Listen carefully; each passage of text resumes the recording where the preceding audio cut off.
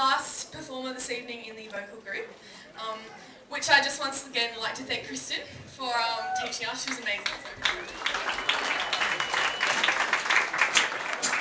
Um, and before I begin, I'd just like to reintroduce the rhythm section to you. Um, so we have Taylor Goddard on the guitar, Asher Castle